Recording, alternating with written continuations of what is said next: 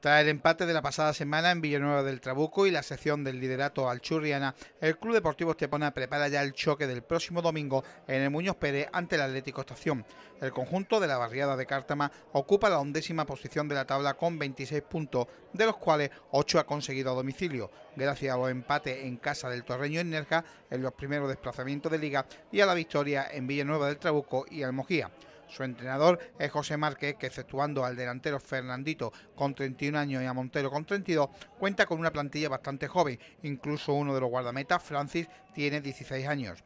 Por parte esteponera, Alfonso Caravaca tiene aún la duda de Ángelo, mientras que recupera para este encuentro a Barrio y Chávez, que se perdían el partido de Villanueva del Trabuco por sanción. Otro que podrá ser de la partida es Echevarne, que por motivos personales no estuvo en el último partido. También podría tener unos minutos Víctor Chaqueta, que está entrenando ya con normalidad tras perderse parte de la temporada por una lesión. El encuentro entre el Club Deportivo Estepona y el Atlético Estación tendrá lugar el domingo a partir de las 12 de la mañana en el Muñoz Pérez.